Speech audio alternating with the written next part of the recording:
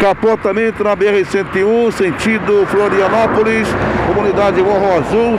Nesta manhã ensolarada, a gente observa aqui nas imagens do Jean Kleber o momento em que a motorista está sendo atendida por outros motoristas aqui também.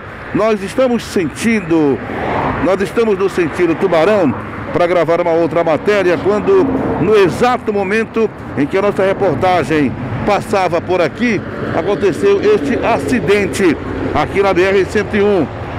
Vamos nos aproximar mais aqui do local para observar as imagens do Jean Kleber. O veículo está capotado, rodados para cima e a motorista está sendo nesse momento atendida por outros motoristas aqui no local. Situação em que ficou o veículo capotado aqui na BR 101. O veículo tem placas de sangão, veículo com placas de sangão. A gente observa que ela estava sozinha dirigindo este veículo agora. Veículo de sangão com placas HEM 4999. HEM 4999.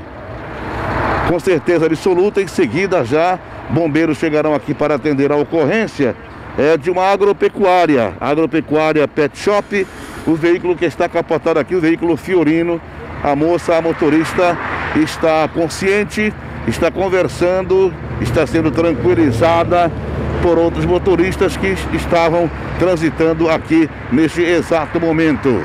A Ana Cláudia é o nome da motorista que capotou aqui na BR-101. Bombeiros já estão chegando ao local para prestar o atendimento, para prestar o socorro para a Ana Cláudia, que capotou agora quase meio-dia. A nossa equipe estava seguindo no sentido Tubarão para uma reportagem quando no exato momento em que a nossa equipe transitava por aqui, este acidente com capotamento e Ana Cláudia sendo atendida pelo Corpo de Bombeiros.